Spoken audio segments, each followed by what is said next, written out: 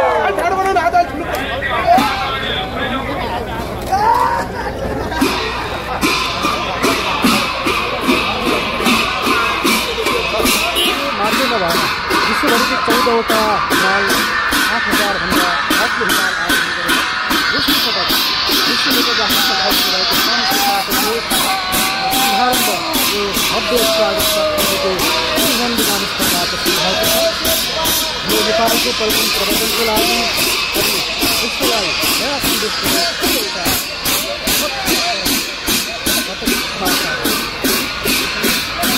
यस कारण यति बेला शेर्पा नेपालको सांस्कृतिक कल्चर छ यो यात्रा यो सहर माहौल र अहिले